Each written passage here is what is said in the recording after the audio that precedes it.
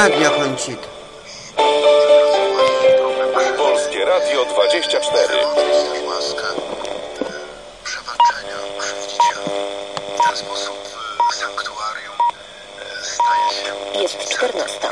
Polskie Radio 24. wszystkich Informacje dnia. Stowarzyszenie Miasto jest Nasze domaga się zbadania przez CBA i prokuraturę kolejnych spraw reprywatyzacji kamienic. To jest e, niebywałe, że można w Niemczech. robić ogromne interesy i zbijać gigantyczny majątek kosztem nas, wszystkich mieszkańców. Kradną, kradną kamienice, kradną, kradną. Obrzydliwe, prawda? No, obrzydliwe to jest. Niestety, ale prawdziwe. Polskim Radiu 24. Informacje dnia. Katarzyna Oklińska, zapraszam. Stowarzyszenie Miasto jest Nasze domaga się zbadania przez CBA i prokuraturę kolejnych spraw reprywatyzacji kamienic. Chodzi o ujawnione przez Gazetę Wyborczą kulisy oddania działek przy ulicy Brackiej i Karowej. Z informacji, na które powołują się działacze społeczni wynika, że miało dojść do kolejnego wyłudzenia drogiej działki w centrum miasta, mówił szef stowarzyszenia Jan Śpiewak. Odzyskana na fikcyjną reaktywację przedsiębiorstwa Towarzystwa Handlu Herbatą. To jest e, niebywałe, że na taki prymitywny, bezczelny numer można w tym mieście robić ogromne interesy i zbijać gigantyczny majątek kosztem, kosztem nas, wszystkich mieszkańców Warszawy. Przemysław Pawlak ze Stowarzyszenia Miasto jest Nasze przypomina, że kamienica przy Brackiej 23 ma swoje historyczne znaczenie dla miasta. Tutaj mieściła się firma portretowa Stanisława Ignacego Witkiewicza. Tutaj było mieszkanie Witkiewiczów, gdzie e, udało się dzięki staraniom żony Witkacego zachować spuściznę literacką, filozoficzną, e, dzięki zniesieniu na niższe piętra e, dzieł Witkacego. Przetrwały dzięki temu wojnę. Także mówimy o działce, która sięga również granicami w ulicę Kruczą. Stowarzyszenie domaga się dymisji prezydent Warszawy Hanny Gronkiewicz-Walc i powołania komisji śledczej do spraw warszawskiej reprywatyzacji. Nie ma żadnych dowodów na to, że terapia z zastosowaniem konopi indyjskich jest skuteczna, mówił w Polskim Radiu 24 minister zdrowia. Konstanty Radziwiłł w dużym stopniu rozwiał wątpliwości dotyczące losu projektu ustawy autorstwa ruchu Kukiz 15. W tym tygodniu w parlamencie dyskutowany będzie projekt dotyczący medycznej marihuany. Myślę, że akurat jeżeli chodzi o konopie indyjskie, to droga jest dosyć daleka, dlatego że dowody na skuteczność leków e, z tego obszaru są dosyć słabe, więc jesteśmy, można powiedzieć, e, w takim miejscu, które raczej lepiej nazywać badaniami, eksperymentem, eksperymentalną terapią, czyli taką terapią, która, no powiedzmy, są jakieś sygnały, że może być skuteczna, ale jeszcze daleko do tego, żebyśmy byli o tym przekonani. A co w związku ze stanowiskiem ministra mówicie na wiejskiej o dalszych losach projektu ruchu Kukiz 15? Z tym pytaniem zwracamy się do reportera Polskiego Radia 24 Lucjana Olszówki, który jest w Sejmie.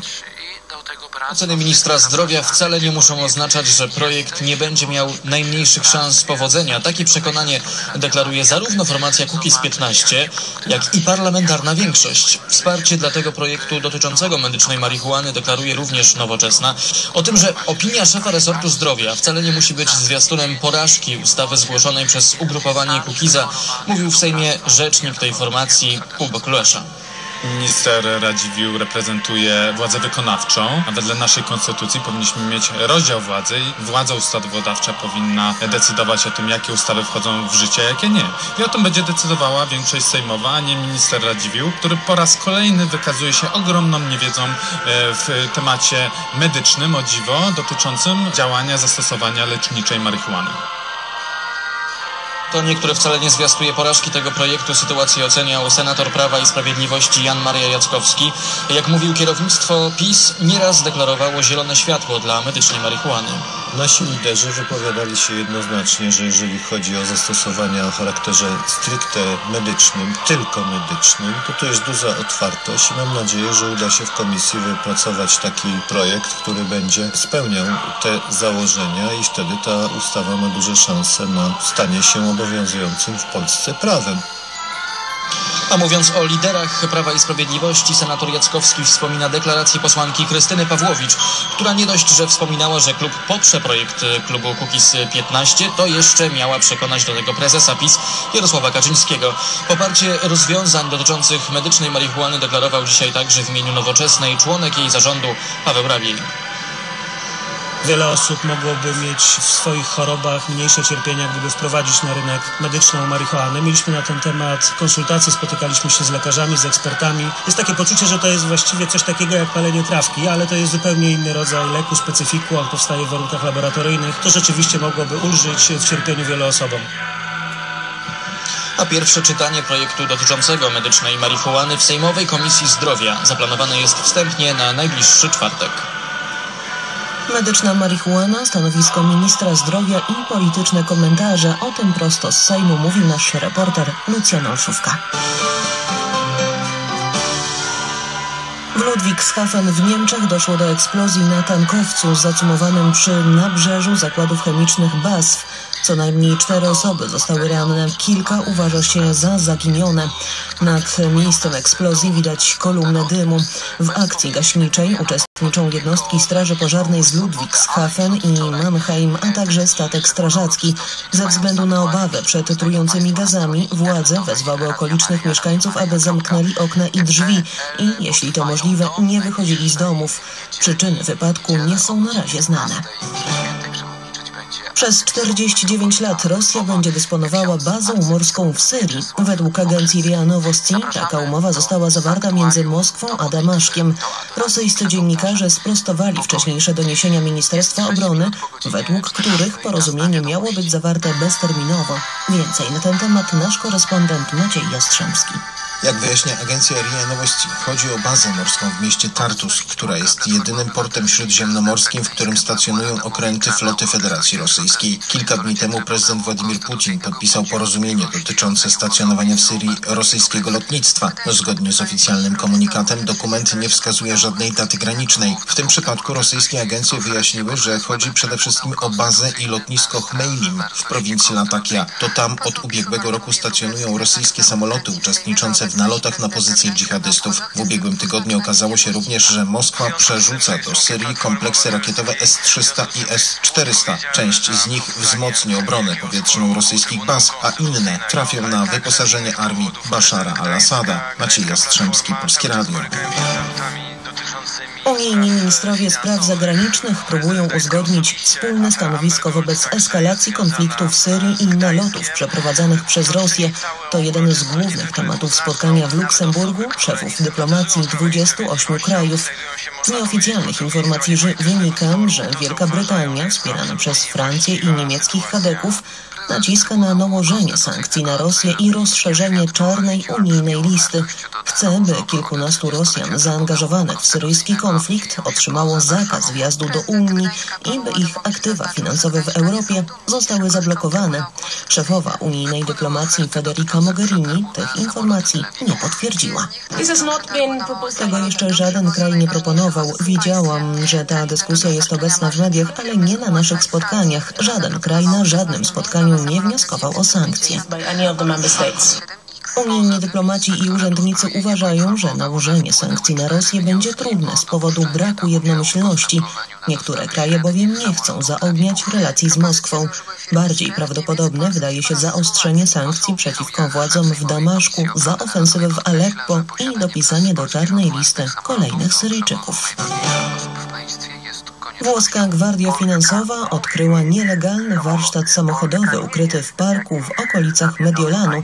Trwają poszukiwania jego klientów i próby ustalenia dochodów. Firma nigdy nie płaciła podatków. Warsztat usytuowany został w samym sercu znanego parku sosnowego Vedano Olona koło Varese. Kilka kilometrów dalej znajduje się ośrodek, gdzie trenuje mediolański klub piłkarski Inter. Nie wolno tam rozbić nawet namiotu, a a co dopiero otworzyć warsztat mechaniki samochodowej. Mieści się on w drewnianym baraku. Obok w starej ciężarówce jest magazyn części zamiennych. W samym zakładzie na podnośniku stało naprawiane właśnie auto. Sześć innych zaparkowanych wśród drzew czekało na swoją kolej. Prokurator stara się w tej chwili ustalić, ile osób mogło korzystać z usług tego zakamuflowanego warsztatu.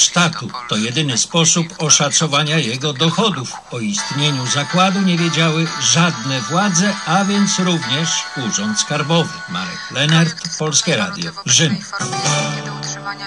W Kijowie nie odbędzie się zaplanowany na jutro pokaz filmu Wołyń Wojciecha Smarzowskiego. Powód e, to list ukraińskiego Ministerstwa Spraw Zagranicznych, w którym rekomenduje on odwołanie pokazu.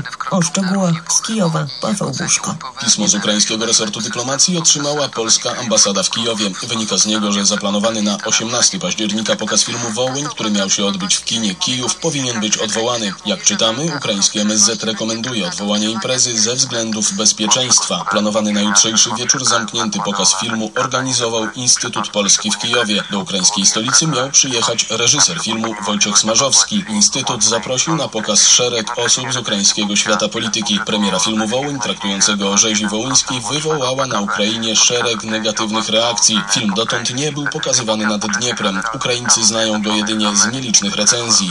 Z Kijowa Paweł Buszko, Polskie Radio. O polityce wobec Rosji, Ukrainy i Białorusi w Polskim Radiu 24. Dziś po 17 w studiu imienia Władysława Szpilmana w siedzibie Polskiego Radia przy Alei Niepodległości w Warszawie spotkają się politycy oraz eksperci, aby porozmawiać o kontaktach Warszawy z Moskwą, Kijowem i Mińskiem. W debacie organizowanej przez Polskie Radio 24 oraz Polski Instytut Spraw Międzynarodowych wezmą udział kierujący pism Sławomir Dębski, Michał Dworczyk z Prawa i Sprawiedliwości oraz Paweł Zalewski z Platformy Obywatelskiej. Dyskusję poprowadzi Grzegorz Ślubowski z redakcji Publicystyki Międzynarodowej Polskiego Radia. Debatę będziemy dla Państwa transmitować początek po godzinie 17. Przez najbliższe dwa tygodnie w Pekinie potrwają przesłuchania konkursowe najzdolniejszych młodych pianistów z całego świata. Rozpoczął się tam pierwszy międzynarodowy konkurs szopenowski dla dzieci i młodzieży. Przygotowania do imprezy trwały 8 lat. Więcej w relacji naszego korespondenta. Do udziału w konkursie zakwalifikowało się 60 uczestników, w tym sześcioro z Polski. Przesłuchania odbywają się w nowo wybudowanej sali filharmoniczno-koncertowej Centralnego Konserwatorium Muzycznego w Pekinie. Jury konkursu przewodniczy ceniona polska pianistka i wychowawczyni wielu mistrzów fortepianu Katarzyna Popowa-Zydroń. Ceremonię otwarcia konkursu uświetnił koncert Nankińskiej Orkiestry Symfonicznej pod batutą profesora Yufenga, rektora pekińskiego konserwatorium. Podczas koncertu wystąpił m.in. światowej sławy chiński pianista i juror konkursu szopenowskiego Li Yundi. Współorganizatorami konkursu po stronie polskiej są Narodowy Instytut Fryderyka Chopina, a także Instytut Polski w Pekinie. Listy gratulacyjne do organizatorów i uczestników wydarzenia wystosowali wicepremierzy Piotr Gliński i Jarosław Gowin. Tomasz Sajewicz, Polskie Radio, Tajpej. W Madrycie środki bezpieczeństwa przed meczem Legia-Real Madryt. Obie drużyny spotkają się jutro na Santiago Bernabeu w ramach grupowych rozgrywek Ligi Mistrzów. Spotkanie zostało uznane w Hiszpanii za mecz wysokiego ryzyka. W takich przypadkach stadionu pilnuje tysiąc policjantów. Jutro pilnować ma 1500 i 700 prywatnych ochroniarzy. Szczegóły tej sprawy zna Ewa Wysocka. Staruch przyjedzie do Madrytu, ostrzega przed najbardziej znanym polskim pseudokibicem hiszpański dziennik sportowy Marka. Niebezpieczeństwo dla miasta. Pseudokibice Legii zdolni są do wandalizmu, nietolerancji, rasizmu i ksenofobii. Czytamy w dzienniku. Podobne ostrzeżenia można znaleźć w innych gazetach, a radio i telewizja przypominają o do jakich doszło na stadionie Legii podczas meczu z Dortmundem.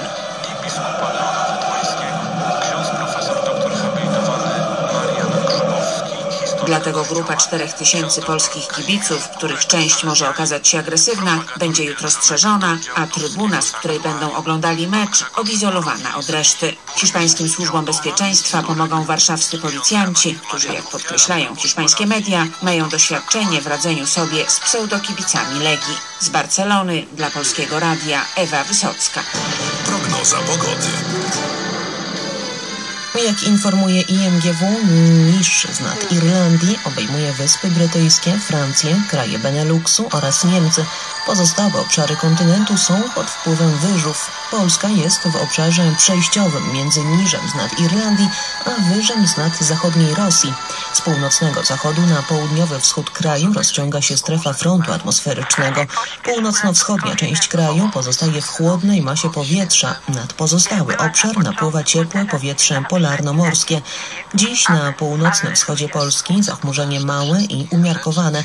Na pozostałym obszarze zachmurzenie duże z większymi przejaśnieniami. Temperatura od 7 stopni na północnym wschodzie do około 9 w centrum i do 13 na południowym zachodzie, a wiatr dzisiaj słaby i umiarkowany. Na północy kraju umiarkowany i okresami porywisty, południowo-wschodni, a ciśnienie w Warszawie wynosi dziś 1019 hektopaskali i powoli będzie spadało. Polskie Radio 24. Słowem wszystko. Oświeca oczy. Reklama. Pana jest pewne. O, Marysia ma katar.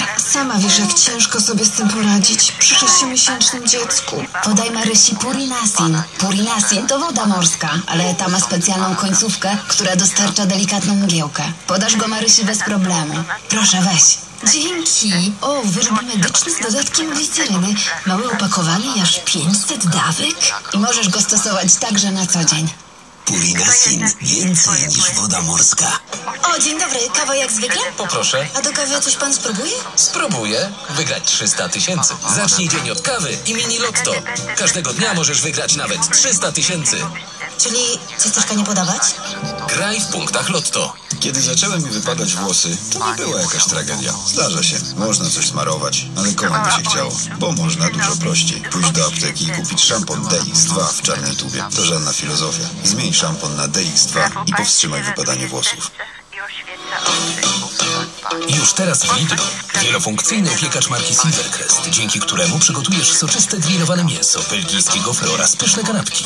Tylko teraz opiekacz za 89,90. A do tego ciśnieniomierz nadgarstkowy marki Sanitas lub Medisana już za 34,99. Tak, tylko 34,99. A do przykręcania śrub z precyzyjnie określoną siłą klucz dynamometryczny za 79,90. Lidl. Co tydzień coś nowego. Witotal dla mężczyzn to witaminy i minerały. W dużych dawkach plus dodatkowe składniki tylko dla mężczyzn. Witotal jest najlepszy dla nas facetów. Teraz kupując suplement diety Witotal w promocyjnym opakowaniu otrzymasz kod na audiobook ze specjalnej kolekcji na audioteka.pl. To była reklama. Powstań na sąd, który zapowiedział. 17 minut po godzinie 14. Gość Polskiego Radia 24. Polskie Radio 24, Krzysztof Grzybowski, witam serdecznie. W naszym studiu dr Maria Ochwat, politolog, ekspert do spraw Azji, Wyższa Szkoła Bankowa. Dzień dobry. Dzień dobry. I już teraz przeniesiemy się do Tajlandii, ale to nie będzie wyprawa podróżnicza, to nie będzie zwiedzanie. Powiemy o bardzo ważnych zmianach, zmianach politycznych, które zachodzą w Tajlandii. E, zmarł najdłużej panujący na świecie monarcha, monarcha Tajlandii. Jego następca, też już znamy, to 64-letni syn. Nie, po, nie mam zamiaru e, tutaj łamać sobie języka, jeżeli chodzi o, o nazwiska nowego e, monarchy. Myślę, że w języku polskim jest ono nie do wymówienia poprawnie, takie mam Wystarczy wrażenie. powiedzieć książę Macha. Dobrze, książę Macha w takim razie. Książę Macha ogłosił już, że- na tron wstąpi za rok, po 12 miesiącach żałoby, co w Tajlandii spotkało się, no, przynajmniej jeżeli wierzyć polskim mediom i tym nielicznym doniesieniom, które się pojawiają, spotkało się z bardzo negatywnym e, odbiorem wśród Tajlandczyków. Skąd e, takie oburzenie, niechęć, brak zaufania do nowego władcy? E, Tutaj właściwie y, no, trzeba było trochę naświetlić sytuację w ogóle, która, która panuje w tej chwili w Tajlandii. E, Pierwsza rzecz no to kwestia abdykacji bądź też śmierci króla, prawda, która otwiera automatycznie em, następcy prawo do objęcia tronu. E, I prawda jest taka, że w chwili abdykacji bądź też śmierci monarchy właściwie ten następca powinien wstąpić na tron praktycznie od razu, praktycznie z automatu, że tak powiem. E, Natomiast no, Książę Macha stwierdził, że oczywiście potrzebuje trochę czasu na to, żeby wejść, przyzwyczaić się do tej nowej roli. I to na początku zostało rzeczywiście odebrane tak całkowicie pozytywnie, prawda? No bo e, być może chce się przygotować do tej nowej roli, być może przeżywa ten okres żałoby. To jest pewnego rodzaju też ciekawostka, dlatego że on był wyznaczony na ym, króla mając lat 20. W związku z tym mógł się do tego dnia przygotować przez ponad 44 lata. Ym, no, w tej chwili to, że nie chce wstąpić na tron przez najbliższy rok, no to jest pewnego rodzaju zaskoczenie. Tych zaskoczeń zresztą było dużo, dużo więcej. Pytanie, czy to były zaskoczenia dla Tajlandczyków, ale dla takich obserwatorów w Europie, w, mm, e, na Zachodzie. Te zdjęcia, które bardzo nieregularnie i z rzadka, ale jednak docierały do, e, do mediów, pokazywały nam człowieka, który może się kojarzyć mm, z wieloma zajęciami, wieloma zainteresowaniami, z wieloma zawodami, ale na pewno nie kojarzy się z kimś, kto ma objąć e, tron. E, przypomnę, wytarte dżinsy, wytatuowane ramiona, e, dziwne t-shirty do pępka, w których przyszły król, obecny władca, e, występował, kiedy wracał do Tajlandii. Witała go na przykład kompania honorowa, podchodzili do niego m, wy- wysokiej rangi oficerowie sił, wojskowych sił tajlandzkich, a przyszły władca stał w trampkach, podartych dżinsach, no i właśnie w podkoszulku, do, który sięgał mu, nawet nie zakrywał mu, mu pępka. Dość niezwykły widok i chyba dosyć niezwykła postać. E, Zdecydowanie tak, chociaż e, chciałabym zwrócić uwagę, że na temat księcia Machy tak naprawdę w Tajlandii wiadomo niewiele. E, To za sprawą kilku różnych czynników. Pierwsza rzecz, która się tutaj pojawia, to to, że książę Macha właściwie wychował się, czy większość życia spędził za granicą. Odebrał wykształcenie wojskowe, kształci się m.in. w Niemczech, w związku z tym w Tajlandii fizycznie go nie było. Kolejna sprawa, która się tutaj pojawia, to to, że w Tajlandii obowiązuje praktycznie od zawsze takie prawo lese majeste, to jest prawo dotyczące zbrodni obrazu majestatu, co oznacza, że nikt nie może krytykować ani monarchy, ani jakiegokolwiek innego członka rodziny królewskiej, bo za to grozi kara pozbawienia wolności od 3 do 15 lat. E, jest taka biografia, zresztą jest to biografia zakazana w Tajlandii. Em, autorem jest Handley. Em, tytuł tej biografii brzmi Król nigdy się nie uśmiecha. I Handley opisuje księcia Machy jako takiego człowieka samowolnego, człowieka skłonnego do agresji, do takich nieprzemyślanych, dziwnych zachowań, e, człowieka, który ma skłonności do hazardu, do takich ekscentrycznych zachowań, człowieka, który lubi podejrzane interesy. Ja myślę, że ci Tajlandczycy obawiają się w tej chwili rządów tego przyszłego księcia. On teoretycznie powinien być przygotowany do pełnienia tejże funkcji, a jest to funkcja szczególna. Natomiast obawiam się, że chyba nie do końca się chce rozstać z tym życiem rozrywkowym, z którym do tej pory, którym do tej pory żył. E, tutaj Tajlandczycy są również też oburzeni. Przed kilku laty w mediach można było poznać księcia Machę jeszcze zupełnie z innej strony, a mianowicie Wikileaks e, upublicznił zdjęcia z pewnej bardzo prywatnej, bardzo wręcz powiedziałabym intymnej imprezy e, księcia ze swoją trzecią już wtedy żoną. E, Książę wtedy na tych zdjęciach pojawił się tylko i wyłącznie w stringach. Żona była kompletnie roznegliżowana, co w przypadku kultury azjatyckiej no, jest takim widokiem, powiedziałabym, dosyć nietypowym. Takich zdjęć raczej nie upublicznia. No i w taki dosyć oryginalny, ekscentryczny sposób świętowali urodziny swojego psa. I to się Tajlandczykom ewidentnie nie spodobało. To w takim razie teraz jeszcze e, jeden wątek, bardzo, bardzo poważny. E, W Tajlandii, zresztą poza Tajlandią też słychać takie głosy, że śmierć e, starego króla może oznaczać gigantyczne kłopoty po- polityczne dla, dla Tajlandii, dla Tajlandczyków, ponieważ jest to kraj niezwykle mocno podzielony, jeżeli chodzi o sympatie polityczne i do tej pory takim, taką siłą, która utrzymywała Tajlandię w spokoju, utrzymywała jedność Tajlandii, był właśnie stary król. To prawda.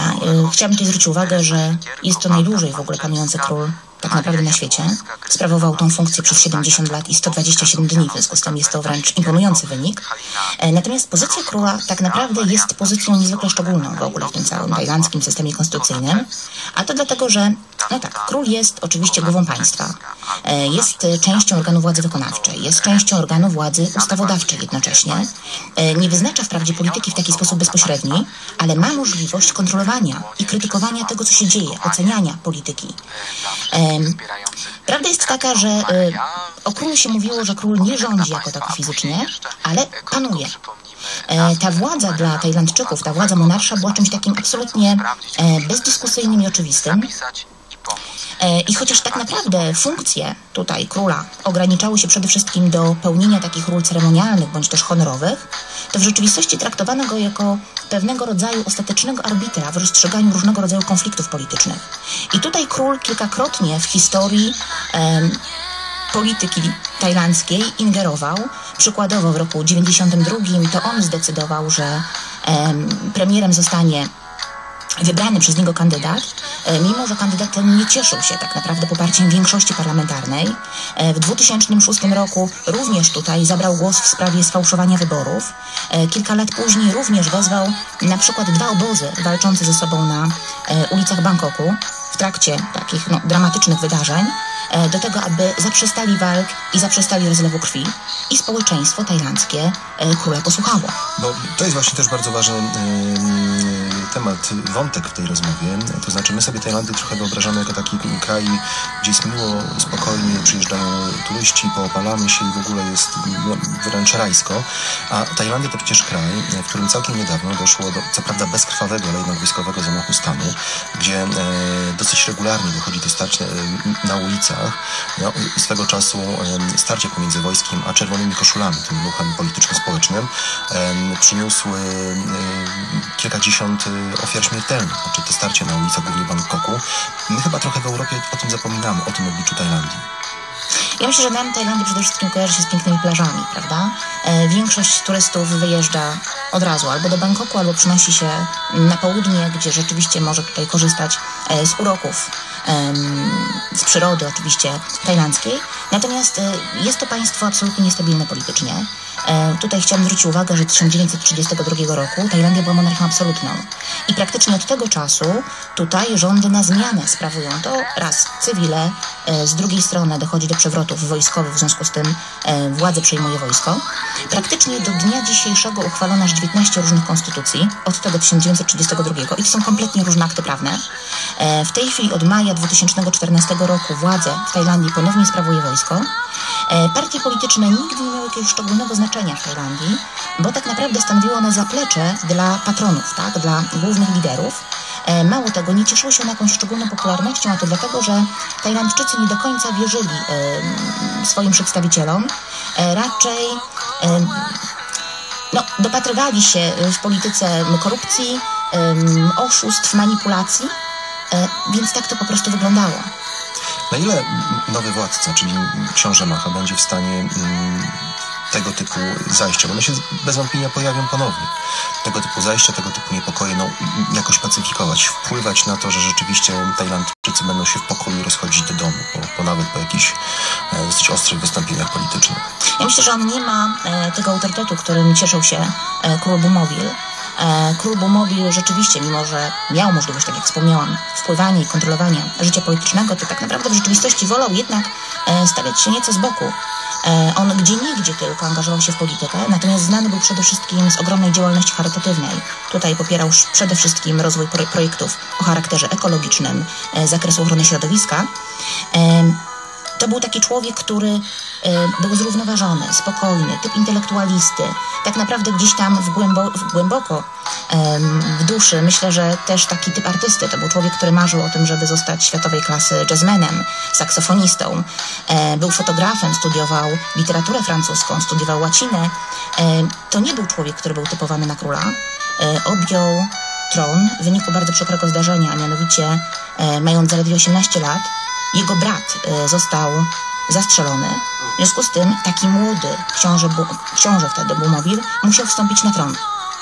W związku z tym ja myślę, że on nie do końca się odnajdował. Po co wyjesz, kurczę twoja mać, mm, po co wyjść? mimo wszystko wolał Przecież stać to jest diable. obserwować tą politykę nieco z boku. Po co wyjść? Ale gdy działy się rzeczy złe, wtedy postawił, potrafił wystąpić i, i mieć realny wpływ na zachowanie Tajlandczyków. Dokładnie tak. Mało tego, pozycja tak naprawdę monarchy i władza monarchy uległa znacznemu zwiększeniu właśnie za czasów jego panowania. Wcześniej wszyscy monarchowie pełnili funkcje bardziej ceremonialne, reprezentacyjne. Wyjej, to któryś raz ta sama dziaduba, no daj potrafił spokój. zbudować wokół swojej osoby. Zdecydowanie tak. Boga w ogóle nie E, wierzy, Czy bo ona choć część chciała tego gwiazdą autorytetu zostać i to przejdzie na wyje. następcę? No obawiam się, że nie. To się wyczuwa. Tak jak mówię, te Czy wierzy, niestety czy nie. niekorzystne zdjęcia stawiające spokój. księcia No Macha w niekorzystnym świetle, e, te wszystkie komentarze na temat jego agresji, na temat jego właśnie takich niespodziewanych zachowań, e, niekontrolowanych zachowań, trzy małżeństwa, siedmioro dzieci, Ale to spytam, a jest jakaś alternatywa dla księcia Machy? Em, Jest, dlatego że zgodnie z prawem Palatynu, właściwie z roku jeszcze 1924, e, no w zasadzie tron powinien przypaść najstarszemu synowi. Jak my wiemy, król Bumobil miał czworo dzieci, e, miał syna, księcia Machę wspomnianego, i miał oczywiście trzy córki. Zgodnie z prawem Palatynu istnieje możliwość, aby to potomek płci żeńskiej wstąpił na tron, ale pod warunkiem, że król Bumobil nie miałby potomka męskiego, bądź też książę Macha zrezygnowałby z pełnienia tej funkcji, albo z jakiegoś powodu nie mógł tej funkcji pełnić. E, Natomiast wyznaczenie następcy, na przykład żeńskiego, no, należy do przywileju monarchy. A Bumobil tego nie zrobił. No to w takim razie będziemy obserwować, co będzie działo się w Tajlandii przez najbliższy rok. Tak naprawdę kraj, kraj bez władcy, tak? Trwa 12 12-miesięczna żałoba i dopiero po tym czasie nowy monarcha, czyli e, książę Macha, e, wstąpi na tajlandzki tron, no i zobaczymy, jakie tu będzie królowanie. Bardzo dziękuję za tę rozmowę. Bardzo dziękuję. O sytuacji politycznej w Tajlandii mówiła dr Maria Ochwat, politolog, ekspert do spraw Azji z Wyższej Szkoły Bankowej. Autopromocja. Polskie Radio 24. Światowa szachownica, czyli rozmowy o geopolityce. Dokąd zmierza świat i jaki to będzie miało wpływ na nasze życie? W każdą środę tuż po 21.30. Grzegorz Ślubowski, zapraszam.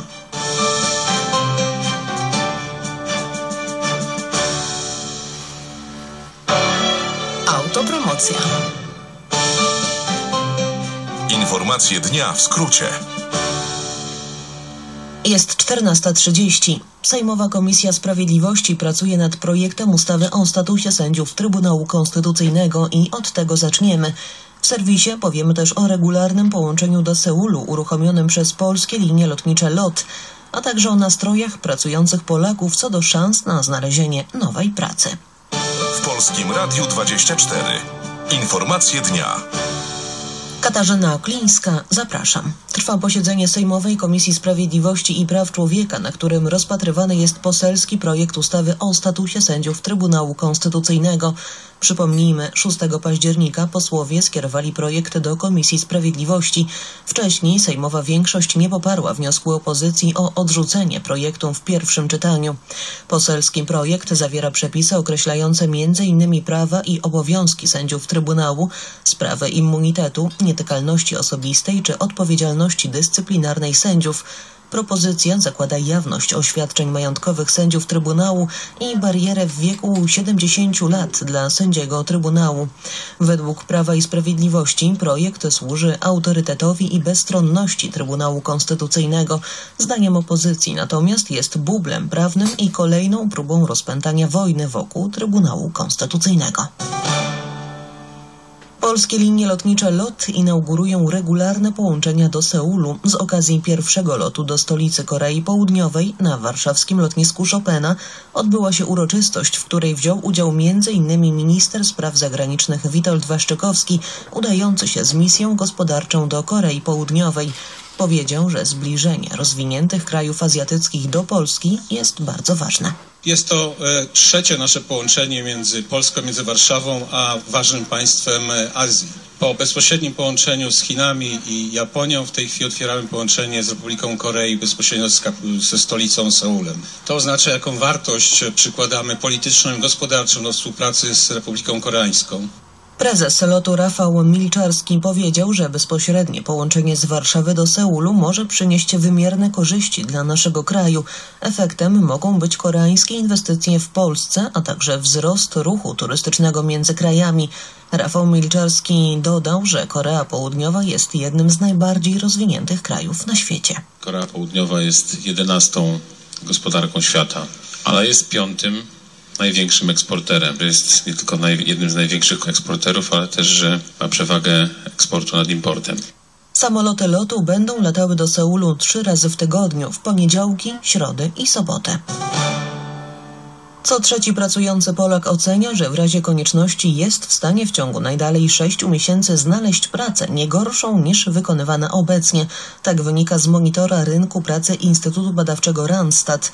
Z badania wynika, że obawy o stabilność zatrudnienia wyraźnie spadły i że nastroje pracowników są coraz lepsze. Łukasz Komuda z Fundacji Inicjatyw Społeczno-Ekonomicznych i redaktor portalu Rynek Pracy.org komentując wyniki badania powiedział, że jesteśmy w europejskiej czołówce zadowolenia i przekonania o tym, że praca jest osiągalna. Tylko Czesi mają większy optymizm, jeśli chodzi o znalezienie jakiejkolwiek pracy, natomiast jeżeli chodzi o podobną pracę, mamy identyczny optymizm jak Czesi. I Dość powszechnym zjawiskiem jest to, że pracodawcy skarżą się na to, że ciężko im znaleźć pracowników przy tych samych wynagrodzeniach, jakie oferują w stosunku do tego, co było rok temu na przykład. Mamy gdzie odejść i e, pracodawcy muszą się coraz lepiej zastanawiać, jak tych pracowników utrzymać, jak ograniczyć rotację u siebie. To oczywiście tworzy presję płacową, czyli presję na podwyżki. Pracodawcy sięgają też po różne metody zachowania lojalności swoich pracowników. Zwyczajnie zaczynają się interesować zadowoleniem pracowników, ich satysfakcją i bo spełnieniem, zapewniają im jakieś indywidualne ścieżki kariery albo możliwość awansu poziomego, jeżeli nie jest możliwy awans w górę. Także muszą się mi troszeczkę nad potrzebny tym, jak pracownicy odbierają ich miejsce pracy, A bo ja inaczej ci pracownicy sobie pójdą. W ocenie Agnieszki Bulik z Randstad poprawa ocen stabilności zatrudnienia jest budująca przy obecnym bardzo wysokim tempie przyrostu miejsc pracy i poprawie jakości tych miejsc. Będzie rosło nie tylko poczucie bezpieczeństwa zatrudnionych Polaków, ale też ich zadowolenie z wykonywanej pracy. Prognoza pogody.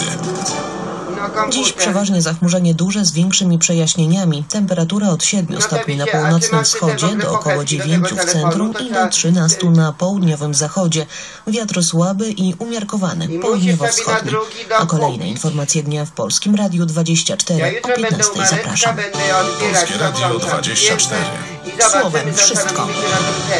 A tutaj to jest 35 podłączone, minut po nie godzinie będzie, bo ja po 14. prostu już sobie nie Gość. Polskiego Radia A 24. gdzie ty jesteś, kochani? Gdzie A w naszym studiu pan Jakub Faryś, prezes Polskiego Związku, Związku Przemysłu No, Motoryzacyjnego. a Dzień dobry. Dzień dobry. No i porozmawiamy o tym, znaczy właściwie spróbujemy odpowiedzieć na mm, pytanie, Aha, które brzmi, czy? Polska stanie się motoryzacyjną potęgą. Ale po co Czyli czymś, o czym my marzymy chyba już od dłuższego czasu, z pewną zazdrością przed laty spoglądając na kolejne inwestycje motoryzacyjne, które powstawały, pojawiały się em, w Czechach, na Węgrzech, e, na Słowacji. tam z taką trochę zazdrością spoglądaliśmy na naszych sąsiadów i zastanawialiśmy się, dlaczego nie u nas. No i w końcu coś mamy. No, A to mówiąc pół żartem, był taki czas, kiedy ogłaszaliśmy się potęgą w kolejnych dziedzinach życia. Jak się skończyło, to wszyscy wiemy. Gdzie? E, Mnie znacznie bliższy jest taki model troszkę pozytywistyczny, to znaczy bardzo Ja cierpliwa, myślałam, że skrupulatna praca z dnia na dzień, z dnia na dzień poprawianie Jest. tej Coś naszej pozycji, ale y, myślę, że mm, każdy ma swój czas i faktycznie było tak, że kilka inwestycji e, trafiło zamiast do Polski. Zamiast, no my chcielibyśmy, żeby to one trafiły do Polski, ale Słowacy i Czesi e, czy Węgrzy cieszą się, że to trafiło tam i oni mówią o swoim sukcesie. No, przypomnę niedawną, bardzo prestiżową porażkę, prestiżową, ponieważ chodziło o bardzo znaną markę samochodów, bardzo, rzekłbym, ekskluzywną i dobrze się kojarzącą, która już wydawało się, że na 100% będzie w Polsce. Na koniec okazało się, że jednak nie. Niestety dla nas trafiła do Słowacji, czego oczywiście bardzo żałujemy, bo każda fabryka motoryzacyjna, każdy producent, który w Polsce lokuje, to ta fabryka oznacza miejsca pracy, oznacza y, to, że ma, m, m, ci, którzy mają zatrudnienie, pracują w tej fabryce, powodują generowanie kolejnych miejsc pracy. I to jest, i to jest bardzo ważne. Ale może warto zwrócić uwagę na jedną rzecz. My oczywiście patrzymy z punktu widzenia naszego polskiego, że chcielibyśmy, żeby do Polski te fabryki trafiły, ale patrząc z punktu widzenia wielkich producentów światowych, to Polska, Czechy, Słowacja, Węgry stają się pewnego rodzaju klastrem, pewnego rodzaju grupą państw czy regionem, w którym lokuje się produkcja. I oczywiście jeszcze raz powtórzę, my chcielibyśmy, żeby jak najwięcej tych fabryk było w Polsce, było na, naszym, e, na naszych ziemiach, na naszym terenie, ale patrząc z punktu widzenia lokalnego, y, oczywiście naszego, to tak powinno być, ale patrząc z punktu widzenia tego wielkiego inwestora, on lokując y, produkcję w Polsce oczekuje na przykład tego, żeby w krajach ościennych byli producenci części podzespołów i odwrotnie. Czyli mm, oczywiście bardzo dobrze, żeby w Polsce było jak najwięcej zakładów, natomiast jeżeli już się zdarzy tak, jak zdarzyło się, że ta fabryka, o której mówimy, gdzie planowana produkcja to jest 200, może nawet 300 tysięcy, jednak finalnie znalazła się na Słowacji, musimy zrobić absolutnie wszystko, żebyśmy my dostarczali części i podzespoły do tej, do tej fabryki, do tej produkcji. No i teraz w takim razie o kolejnej inwestycji, która jednak do Polski trafiła. Też bardzo dobra marka, też bardzo dobre samochody. Co prawda nie samochody będą produkowane, a, a silniki, ale to jest właśnie dowód na to, o czym pan mówi?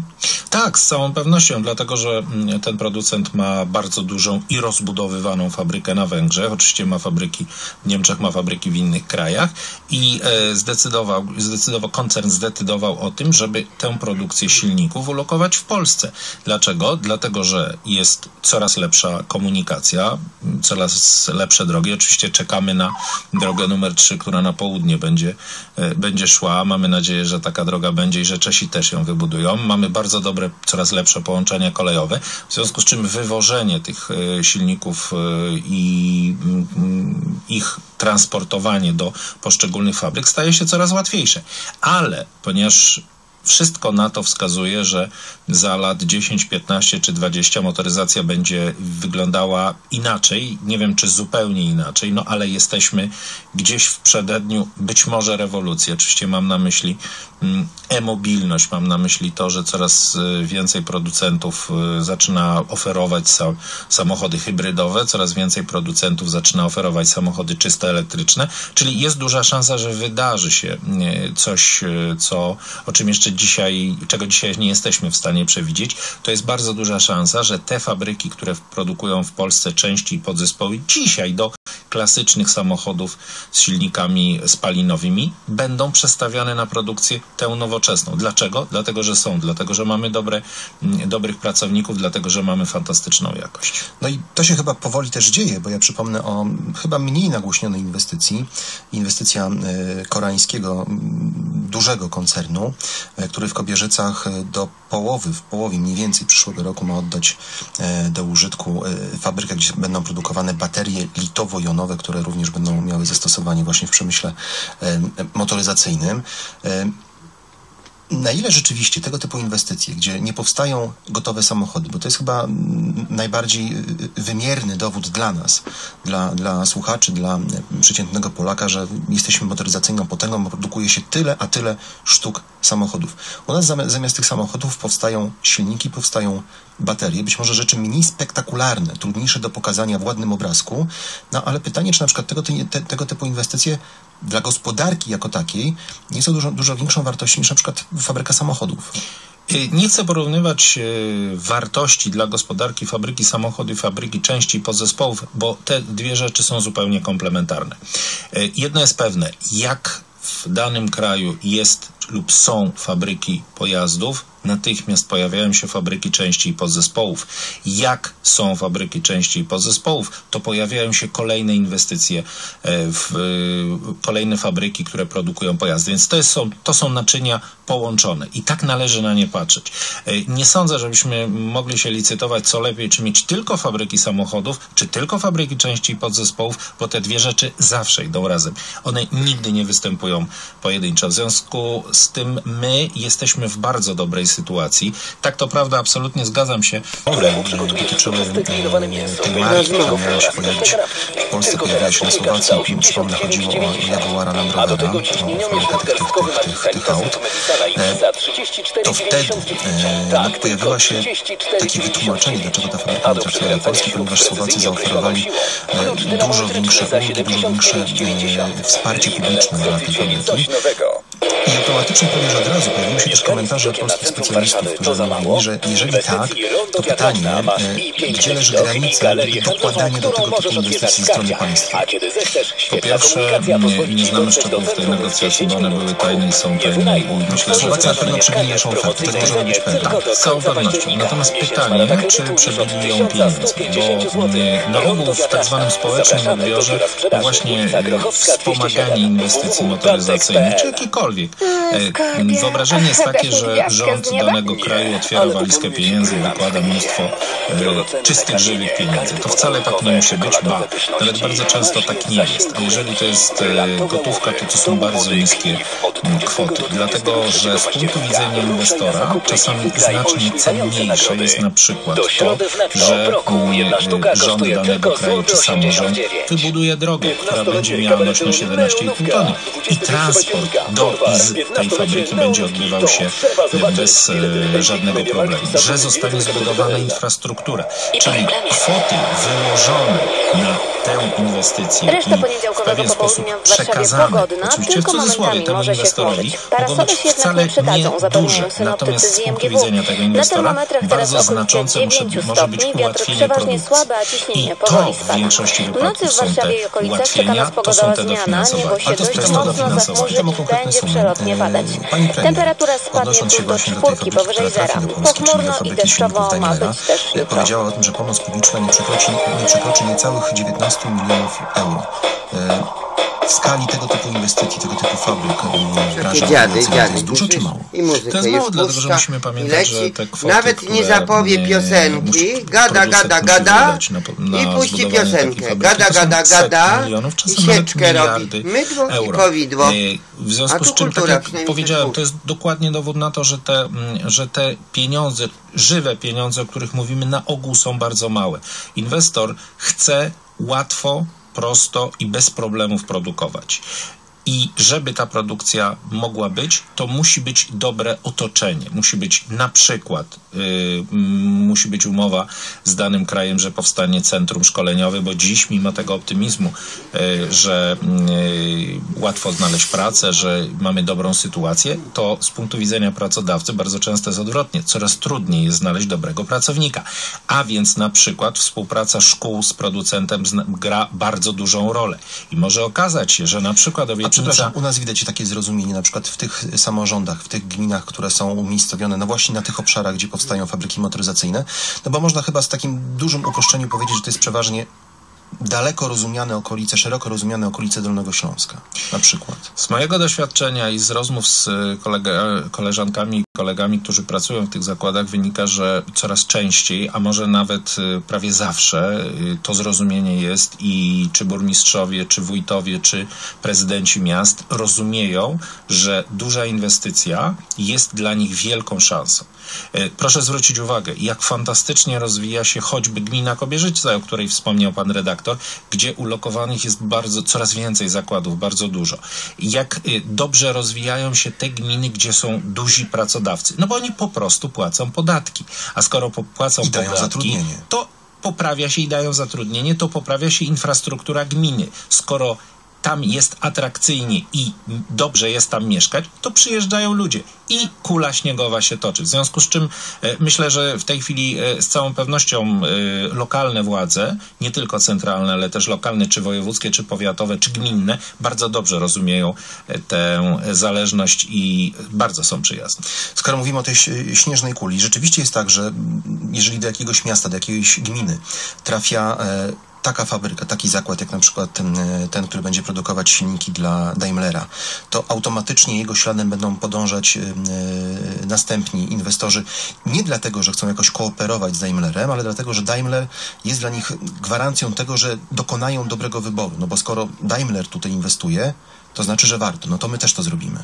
Oba powody są istotne. Po pierwsze, za fabryką produktu finalnego, czy to fabryką silników, czy to fabryką samochodów, idą natychmiast dostawcy i poddostawcy i to, że w Polsce y, ulokował, y, ulokowana jest produkcja, bo my mówimy w tym momencie o, o, o, o fabryce silników, która za chwilę powstanie, ale musimy pamię- pamiętać, że e, kilka wielkich światowych koncernów w Polsce już jest. Polska jest bardzo ważnym miejscem na mapie tej motoryzacyjnej, produkcyjnej Europy. One już są i to z całą pewnością przyciąga innych, bo jeżeli kilka czy kilkanaście lat temu zdecydował się na to jeden, drugi, trzeci producent, to znaczy, że tam warto być, że w Polsce warto być. E, Proszę pamiętać, że również e, są nieformalne kontakty między, między ludźmi, którzy o tym decydują.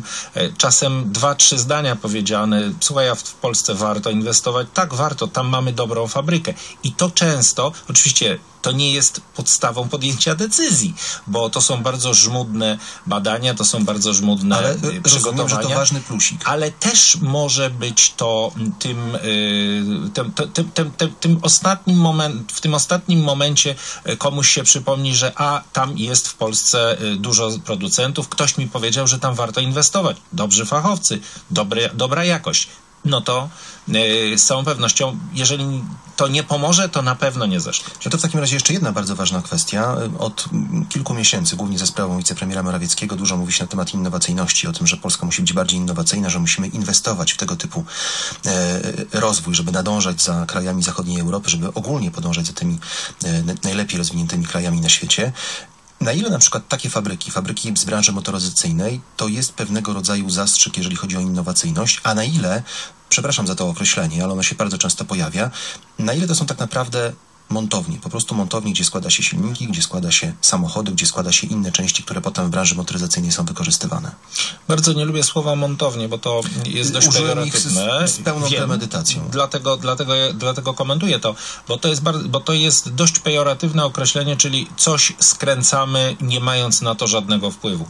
E, tak nie jest, dlatego że coraz częściej w Polsce lokowane są centra badawczo-rozwojowe albo, co równie częście, często, a może nawet częściej, rozwijane są działy badawcze przy poszczególnych fabrykach.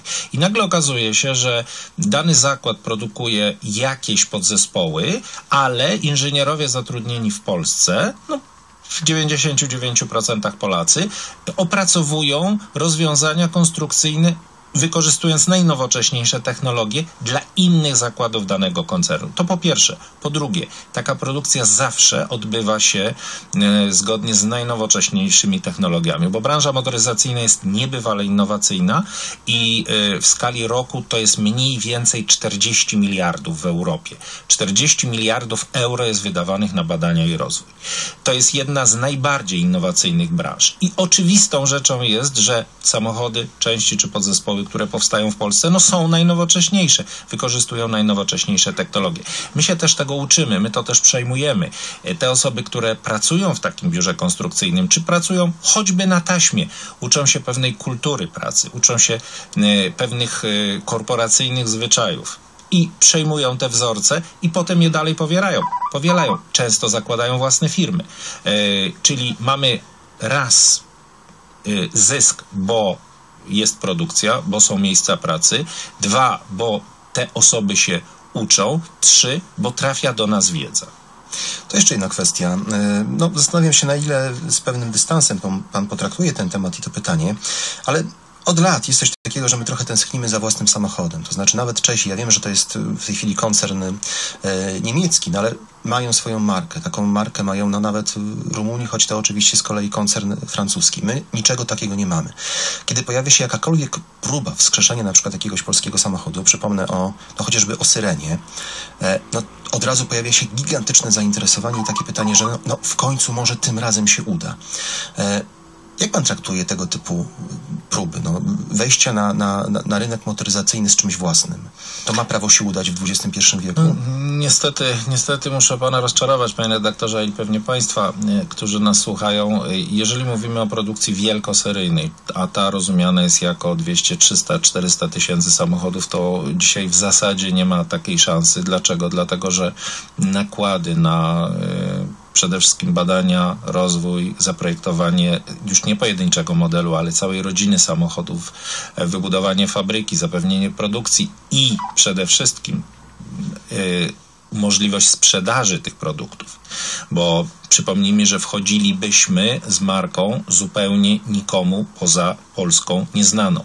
A tylko w Polsce nie ma żadnej szansy, żeby taka fabryka się ze sprzedaży w Polsce utrzymała. W związku z czym musimy wyjść na Europę, a może i świat. W związku z czym nakłady na promocję tego produktu, na zbudowanie sieci, sprze- sieci sprzedaży, sieci obsługi byłyby tak gigantyczne, że nikt dzisiaj nie podejmie tego ryzyka. Natomiast z całą pewnością ja y, kibicuję wszelkim tego tego typu pomysłom inicjatywom, bo mam nadzieję, że w tej takiej mniejszej skali, takiej może troszeczkę koneserskiej, takiej troszeczkę, mm, troszeczkę naszej lokalnej tutaj uda się mm, wskrzesić którąś z tych marek. Powiadam jeszcze raz, przy może kilkuset, może kilku tysiącach e, sztuk wyprodukowanych, bardziej na zasadzie, tak jak powiedziałem, e, pewnej, pewnej, e, pewnego samochodu troszkę może kolekcjonerskiego, może to się uda. Bardzo byłoby to miłe. Samochód dla, dla koneserów, coś takiego?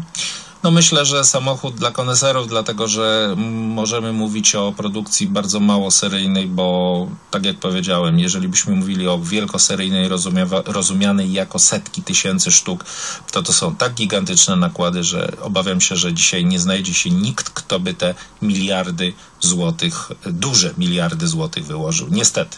To jeszcze jedna kwestia. E, Rozmawiając właśnie o tych inwestycjach m, w branży motoryzacyjnej, e, czasami pojawia się też pytanie, gdzie leży granica e, no, takiego m, dobrego zbilansowania e, różnych e, gałęzi przemysłu, E, żeby nie dopuścić do sytuacji, z którą chyba zmagali się w pewnym momencie na przykład Słowacy i Czesi. Gdy pojawił się kryzys na rynku motoryzacyjnym, to nagle się okazało, że te gospodarki w dużej mierze oparte właśnie na zakładach produkujących samochody albo podzespoły y, samochodowe przeżywały gigantyczne trudności, no i były takim niejako no, dosyć dużym balastem dla całej czeskiej i słowackiej gospodarki. Polska na przykład tego ominęła, ponieważ no, paradoksalnie y, nie mieliśmy żadnej branży, która by była taką branżą flagową, branżą wiodącą.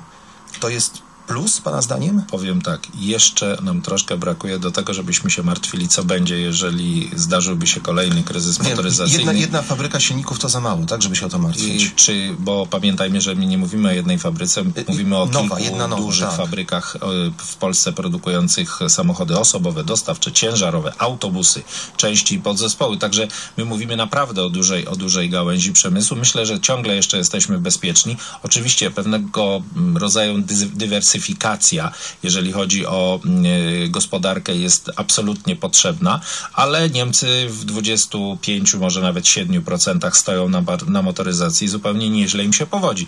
Czyli ja jeszcze życzę e, Państwu sobie e, tego, żeby tych inwestycji jeszcze się co najmniej kilka, a może kilkanaście pojawiło. Ciągle będziemy bezpieczni. Jakub Faryś, prezes Polskiego Związku Przemysłu Motoryzacyjnego, bardzo dziękuję za rozmowę. Dziękuję bardzo. Reklama. Saturn radzi, myśl technologicznie. Tylko teraz dwa komputery w cenie jednego. Kupując laptop Acer z procesorem Intel Core i5 za 2149 zł. Komputer Kiano Slim Stick dostaniesz w prezencie. Saturn. Technologia tak ma. Nigdy nie eksperymentuję, gdy moja córka jest chora i kaszle. Od zawsze podaję jej Pulneo. Pulneo leczy kaszel, działa przeciwzapalnie i pozwala szybko pokonać chorobę. Pulneo. Sprawdzony lek, gdy dziecko jest chore i kaszle. Fenspiryt 2 mg na mililitr. Leczenie objawowe w przebiegu chorób zapalnych, oskrzeli i płuc. Leczenie nie może opóźniać rozpoczęcia leczenia antybiotykami. Przeciwwskazania. Nadwrażliwość na którąkolwiek substancję. Nie stosować u dzieci poniżej dwóch lat. Aflofarm. Przed użyciem zapoznaj się z treścią ulotki dołączonej do opakowania bądź skonsultuj się z lekarzem lub farmaceutą, gdyż każdy lek niewłaściwie stosowany zagraża Twojemu życiu lub zdrowiu. Masz dosyć infekcji? Działaj! Sięgnij po tabletki Neozinę. Neozinę zarówno wspomaga odporność, jak i działa przeciwwirusowo. Zastosuj Neozinę w każdej sytuacji. Neozinę. Zwalczaj wirusy i nie daj się infekcji. Przed użyciem zapoznaj się z treścią ulotki dołączonej do opakowania bądź skonsultuj się z lekarzem lub farmaceutą, gdyż każdy lek niewłaściwie stosowany zagraża Twojemu życiu lub zdrowiu. 500 mg inozyny, wspomagająco u osób o obniżonej odporności w przypadku nawracających infekcji górnych dróg oddechowych. Przeciwwskazania, nadwrażliwość na substancję czynną lub pomocniczą, dna moczanowa, hiperurykemia, W Lidlu wielkie promocje. W każdy poniedziałek, wtorek i środę rusza Wielka Piątka, czyli aż 5 produktów w super cenach. I tak, schab wieprzowy bez kości w plastrach rzeźnik 4,89 za 360 Kurwa, gramów. twoja mać. Polędwica Sopocka w plastrach A na początek serwisu Trójki akcja ratunkowa w Ludwigshafen No co tam? na zachodzie Niemiec. W fabryce chemicznej doszło do wybuchu i pożaru. Media informują o rannych i zaginionych pracownikach. Co? Wybuch zniszczył kilka budynków. Władze ostrzegają okolicznych mieszkańców przed ewentualnymi trującymi gazami. Proszę o Słuchaj, czy ty jesteś psychiczny? Czy ty jesteś psychiczny? Kto ci ten router do głowy podłączysz? Ty coś kręcisz, czy coś kombinujesz? Z- Zlazłeś na złe drogi i bardzo mi ciebie szkoda. Źle skończysz, mówię ci, źle skończysz. Po prostu ty knujesz złe rzeczy, jesteś pod wpływem ludzi. O, ja nic nie będę oddawać, kupiłam to w rzeczach potrzebnych. Po co ty jedziesz do Warszawy? Po co ty jedziesz? Wojciech Szymański, Polskie Radio. A no więc widzisz, nie umiesz mi odpowiedzieć po co jedziesz, a chciałbyś wiedzieć po co ja to kupiłam. No to jesteś niekonsekwentny. Takiej koncepcji mówił w wywiadzie dla telewizji Trwam minister obrony narodowej No ja nie wiem, czy dzisiaj ja pójdę sobie do biblioteki, ja nie mam czasu i dupy mi nie zawracaj.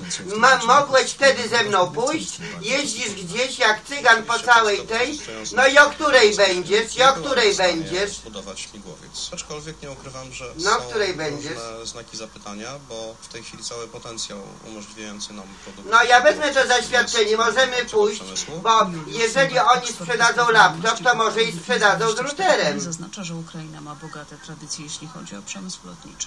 To jest między innymi firma Antonow produkująca największe na świecie samoloty transportowe. Nic nie jechał żaden detektyw. Teraz mają komputery, teraz może namierzyć ciebie na telefonie i ty jesteś, robisz się psychiczny. Nikt nie jechał. Były głównym dostawcą silników dla rosyjskich śmigłowców.